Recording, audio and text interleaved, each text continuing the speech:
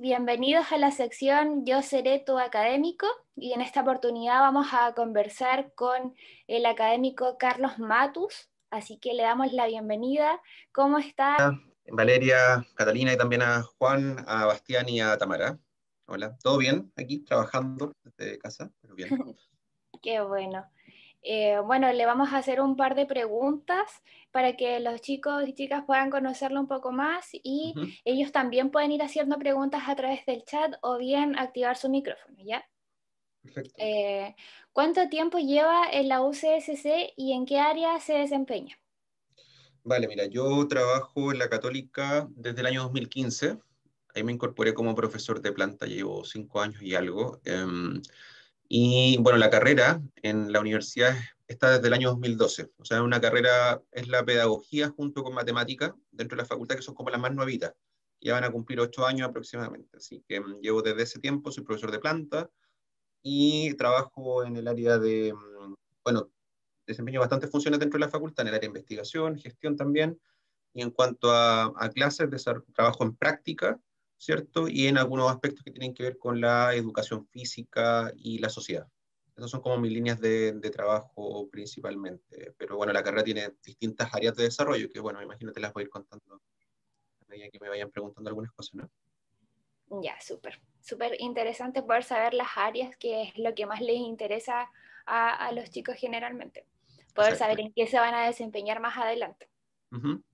Ya, eh, usted como académico de la carrera, ¿por qué los eh, futuros estudiantes deberían elegir la UCSC para poder estudiar educación física? hay, varios factores que, mm, que, influyen acá. Uno, el primero es que, bueno, como señalaban en la presentación, todas las carreras de pedagogía en Chile tienen que estar acreditadas. Y evidentemente la carrera de nosotros de educación física está acreditada desde siempre. De hecho, estamos en un nuevo proceso de, ahora de, de acreditación, de autoevaluación y luego acreditación, así que ese es el primer, el primer punto. Lo segundo, bueno, es una universidad de prestigio, ¿cierto? Que ha formado profesores. Si bien la carrera es nueva, existió educación física hace bastante años atrás, luego se dejó de dictar la carrera y se ha vuelto a retomar, por lo tanto tiene una tradición importante aquí a nivel regional eh, nuestra carrera. Segundo, estamos con un plan innovado, ¿ya? que quiere decir que tenemos una armalla nueva que empezó a funcionar desde el año pasado y que tiene distintos focos de desarrollo tiene un foco eh, que se dirige hacia los deportes individuales y colectivos. A nosotros entregamos herramientas para que nuestros estudiantes sean futuros profesores y profesoras que tengan un impacto en el sistema escolar y también en el ámbito deportivo. lo bueno de, de, la carrera, entre algunas cosas importantes, es que mm, el campo laboral es muy amplio. No solamente se supedita como a la escuela, al colegio o al liceo, sino que también va más allá de eso. O sea, nuestro, de hecho, nuestros estudiantes los primeros años trabajan normalmente en el ámbito deportivo o extraescolar. También después se van incorporando a poco al ámbito, al ámbito de la educación física propiamente eh, escolar. Por lo tanto, em, esa variabilidad o posibilidades de, de trabajar es muy importante. Pero retomando, bueno, los focos de, desarrollo de la carrera tienen que ver con el ámbito deportivo, como te decía, las prácticas, contamos con una línea de prácticas que es progresiva, o sea, desde el segundo año nuestros estudiantes van a centros de práctica, tanto deportivos como escolares, hasta que llegan a su práctica profesional que se da en el décimo semestre, que es el quinto año. ¿Ya? Por lo tanto, van pasando, por ejemplo, por una práctica en un club deportivo, van pasando por una práctica en un gimnasio, luego van a, van a ir a educación básica en los colegios, educación media, y luego práctica profesional. Tenemos una línea de práctica bien marcada, tenemos una línea em, del ámbito de las ciencias biológicas o ciencias básicas, enfocada en la anatomía, fisiología, bioquímica, siempre enfocándose en el ejercicio físico. Tenemos una línea pedagógica, que evidentemente somos una pedagogía, se entregan herramientas eh, eh, para ser profesor, ¿cierto? Esas son principalmente las, las, características de... Bueno, y los chicos pueden optar también a optativos de profundización. Por lo tanto, llegado cuarto año, los chicos pueden tomar algunos optativos que les van a entregar, eh, van a entregar más información y se van a preparar de mejor forma en el ámbito del entrenamiento deportivo, en el ámbito de la prescripción del ejercicio físico o en el ámbito de la gestión deportiva. Por lo tanto, también eso es un sello súper importante, no todas las universidades lo entregan, así que, así que bien. No sé si respondí un poco a lo que tú me planteas.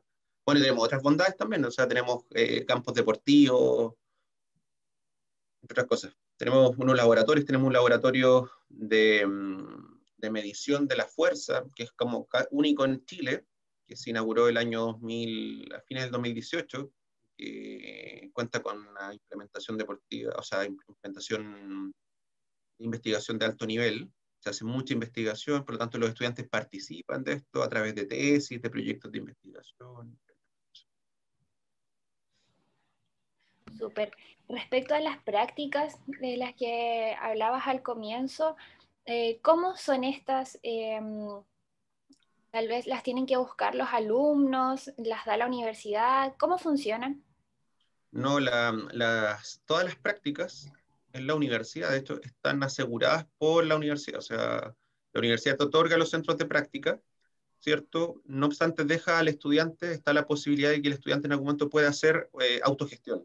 Es decir, que el estudiante busque su centro y lo proponga porque tiene a lo mejor posibilidad de trabajar ahí, tiene a lo mejor algún, algún vínculo cercano, entre otras cosas. Por lo tanto, siempre está la posibilidad, pero las prácticas están cauteladas por... De hecho, en la facultad tenemos una unidad de práctica. Más que nada lo menciono por la cercanía, hay personas que son de más lejos, que no sé, por ejemplo, ayer habían chicos de Tomé, de Coronel, de X lugares, entonces les preocupa eso, tener que viajar tanto. Entonces, puede ser importante que les, den esa opción de hacer sus prácticas cercanas a, su domicilio. Sí, eso sí, eso, está, eso se considera. Ya. Eh, ¿Cómo consideraría usted que la relación entre los académicos y el alumnado? Ya que en diversos estudios eh, aparece que la universidad es una institución muy cercana con los estudiantes. Sí, mira, eh, es una buena, o sea, una relación siempre muy cercana. Nosotros tenemos como, como carrera un, sello distintivo que otras pedagogías no tienen, que nosotros trabajamos no solamente en el aula, porque nosotros no se supedita solo como a la facultad, sino que nosotros tenemos una relación con los estudiantes, por ejemplo, mucho en el gimnasio, actividad física en la naturaleza, por lo tanto la relación que se da con, entre el estudiantado y los profesores es muy cercana, o sea, que va más allá como de la formalidad un poco de la estructura del, aula, por lo tanto siempre una muy buena comunicación los estudiantes tienen acceso directo a, nosotros, eh, previa coordinación, o si la situación la merita, intentamos darle, darle una pronta solución a los estudiantes. Así que hay una muy buena relación, somos un cuerpo académico, eh, bueno, profesores de educación física la mayoría, pertenecemos a un departamento, pero también los, los estudiantes tienen profesores de otra área, biología, algún bioquímico, entre otras cosas. Por lo tanto, pero es una muy buena razón. Bueno, acá me preguntan por el chat, eh, ¿qué tipo de evaluaciones son las que se desarrollan en la carrera? mira, nosotros tenemos evaluaciones para depender del tipo de asignatura, ¿ya? Eso es lo, primero, y eso cambia un poco el tipo de evaluaciones, pero, por ejemplo, en las, asignaturas como de deportes, ¿cierto? Estas, las evaluaciones se combinan entre evaluaciones teóricas, hay un componente teórico cada asignatura tiene un componente teórico y eso se evalúa a través de alguna prueba, algún certamen, alguna exposición oral, etc. Y por otro lado aparecen los componentes prácticos de la evaluación, que cuando son actividades deportivas se evalúan en el gimnasio. Esto puede ser una mini clase, al estudiante se le entregan un, estudio de caso, una situación puntual, y el estudiante tiene que abordarla a través de una mini clase donde tiene que eh, presentar aspectos metodológicos y procedimentales principalmente. ¿ya? Por lo tanto, también tenemos, un, tenemos dos, dos, dos tipos de, evaluaciones grandes entre, entre ellos. Las evaluaciones, es muy común que, por ejemplo, los chicos desarrollen póster, también afiches, presentaciones, etc. Entonces hay diferentes evaluaciones dentro de la carrera. Absolutamente. Bueno, eh, acá también me preguntan, para las que nos cuesta un poco más, ¿existe algún horario de atención de los académicos para resolver dudas o a lo mejor algún tipo de ayudantías? Sí, mira, las dos cosas existen. En, el caso de, los, eh, de la atención de los estudiantes, todos los profesores, por normativa, deben, o se incorporan y tienen que presentar a su, al, al, al, curso, al inicio del semestre, el horario de atención, en el cual, en este caso, cuando estamos en oficina, en una situación normal, nosotros eh, recibimos a nuestro estudiante. Eh, eso está, no sé, martes entre las 10 y las 12 y el profesor está en su oficina, ¿cierto? O está disponible para poder atender a las consultas. No obstante, siempre está el correo electrónico para plantear dudas y, ese tipo de cosas. Y la segunda pregunta era sobre, mm, eran dos cosas, creo. Es que existen algún tipo de ayudantías. Ah, perfecto, sí, existen ayudantías, eh, existen Por un lado existen talleres de reforzamiento que empiezan en primer año, ¿cierto? Que es para cuando llegan algunos estudiantes que a lo mejor vienen con algunos resultados un poco más bajitos en, algunas en algunas actividades que son genéricas, en el ámbito del lenguaje y matemática, ya que es un poquito para nivelar.